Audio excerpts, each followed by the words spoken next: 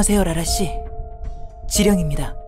라라에게 내일 정오까지 바늘 3개를 릴리의 생일 케이크에 넣어라.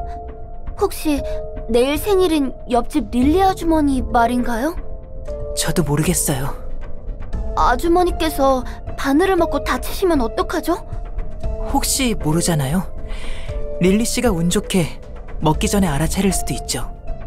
아니면 라라 씨가 미리 바늘이 들어있다고 알려드려도 되잖아요.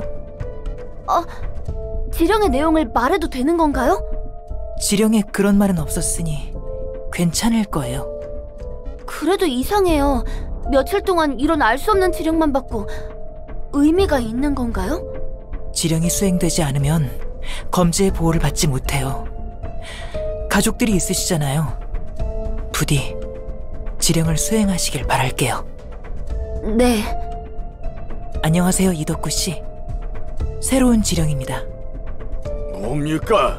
여기서 뭘 더 하란 말이에요? 미안해요. 저에게 매달리셔도 해드릴 수 있는 게 없어요. 자, 심호흡하고 지령을 읽어보세요. 이덕구에게 세 번째로 만난 사람과 가위바위보를 해서 반드시 바위를 낸다. 이긴 경우 그 사람의 머리카락 59개를 뽑아와서 스티로폼만 먹고 자란 미럼을 첨가한 해물크림 파스타 소스를 세 번 뿌린 다음 포크로 먹는다. 미친 새끼들 이딴 걸 먹으라고? 안 그래도 일주일 전에 하수구 물로 리조또도 만들어서 옆집 민지에게 선물했잖아. 날 믿고 그냥 먹었다가 응급실로 실려갔다고. 여시나 먹어. 미안해요. 저는 그저 지령을 전달할 뿐이에요. 제발 돈이라면 얼마든지 줄 테니까 아니면 한 번만 좀 다른 지령으로 바꿔줘. 저도 마음 같아서는 그러고 싶지만 제게는 그런 권한이 없어요. 누구나 지령 앞에서 시험을 받아요. 꼭 이겨내시길 바랄게요.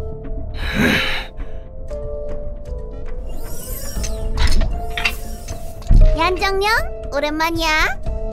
안녕하세요, 글로리아 대행자. 글로리아도 이곳에 라마커스 씨에게 용무가 있어서 오셨나요? 응 맞아. 지령을 받아서 말이야. 저기요, 라마커스 씨. 안에 계시나요? 말씀 좀 전하러 왔어요. 응? 안 되겠네. 나한테 맡겨줘.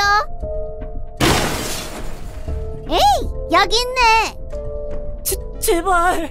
어, 정말, 어, 정말 사소한 문제였는데. 혹시 지령을 수행하지 않으셨나요? 라마커스 씨의 전두엽을 늦게 놓으라고 나에게 지령이 왔어. 대행자에게 지령이 온다는 건 누군가의 지령이 수행되지 않았다는 거예요. 라마커스 씨. 지랄하지 마! 당신이 그린 그림을 죽여라! 이게 말이 되는 지령이야? 난 내 인생의 전부였던 그림들을 먹을 치라고! 칼로 찌르고 찍고! 갖가지 방법으로 죽은 사람의 그림도 그리고 별짓을 다 했다고! 응? 간단한 문제잖아. 아무나 한 사람을 잡아서 그리고 그 사람을 죽이면 되는 일 아니야? 내 잘못이 아니잖아! 애매하게 적은 지령 탓이라고! 네 머리가 나쁜 걸 지령 탓하면 안 되지. 이 미친 놈들아! 난 살려고 별짓을 다 했어! 니만이란 놈한테 숫자를 전달하고 유니콘 인형을 공원으로 옮겼고 애인이란 녀석이 하얀색 벽에서 초록색을 볼 수 있는 방법도 찾았어! 지금까지 정말 잘해왔는데 이번에도 잘했어야지. 당신의 노력은 충분히 알겠어요. 하지만 우리에게 지령이 내려온 이상 우리도 지령을 따라야 하거든. 미안해요.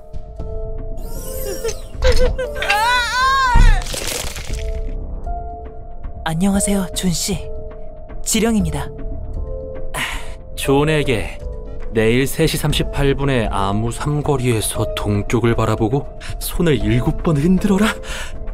와, 정말 이런 간단한 일만 해도 보호받을 수 있는 거예요? 다른 조직처럼 돈도 안 받으시고요? 네, 그렇답니다.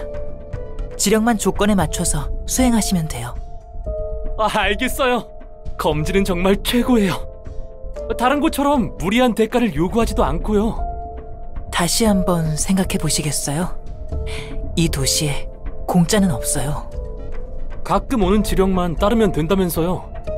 둥지는 하루아침에 망했지 거주구역에 버젓이 위험한 놈들이 돌아다니지 다른 조직들은 터무니없는 돈이나 계약서를 요구하고요. 제 가족을 지키려면 검지밖에 없어요. 네, 그렇겠죠. 지령을 지킨다면 안전할 거예요. 아마도. 안녕하세요, 대행자 여러분. 새로운 지령이 내려왔습니다. 새로운 지령이군. 요즘 들어 부쩍 지령을 많이 전달받는 것 같아. 지령이 그렇죠, 뭐. 그리고 언제부터 지령에 술을 신경 썼다고 그래요? 지령의 의무는 없지만 이대로면 엄지나 청소부가 피 좀 많이 흘리겠는걸? 나는 이제 흘릴 피도 없지만 지령의 뜻이 전쟁이라면 우리는 기꺼이 전쟁을 치러야지. 우리는 지령의 의지를 대행할 뿐이니 우선적으로 받은 지령부터 수행한다. 대행자들은 각투의 수행자들에게 얀철령의 지령을 전달하도록 그나저나 이번 지령에는 뭐라 적혀 있나요? 그게 말이야 나는 여기 엘사 둥지 안에서 37살 먹은 사람들 척추를 뽑아오라네 모든 37살을요? 글쎄 애매한 지령의 해석은 에스더 대행자의 일인걸 범인은 모든 사람들을 대상으로 한다. 37살을 남김없이 찾아내서 척추를 뽑아오도록 우리 조는 오늘 14번째로 만나는 사람의 왼쪽 다리와 26번째 만나는 사람의 오른다리를 교체해야 한다. 오히려 얀 네가 가져온 지령은 너무 깔끔해서 어색하단 말이지 엄지를 죽여라. 키아는 무제한. 해석의 여지도 없군. 수행자들은 지령에 따라 도서관에 보내도록 하지. 아이고야, 결국 검지가 오긴 오는구만. 지령은 모호해서 누군가의 해석이 필요한 것 같네. 지령이란 걸 직접 본 적이 없으니 뭐가 어떻게 적혀 있는지 감도 안 온다. 누가 지령을 내리는지도 모르겠고 어디서 오는지도 모르는 지령을 따르면서 큰 조직을 유지하는 건 말도 안 돼. 그게 무서운 거야. 무작위로 내려오는 것 같은 지령은 확실한 결과를 내거든. 그런 지령을 누가 만드는지 모른다고? 적어도 난 지령의 근원을 아는 사람은 못 봤어. 이미 검지의 지령은 도시의 별이 된 지 오래고 믿겨지지 않네. 헛소리를 맹목적으로 따르다니. 다들 마찬가지야.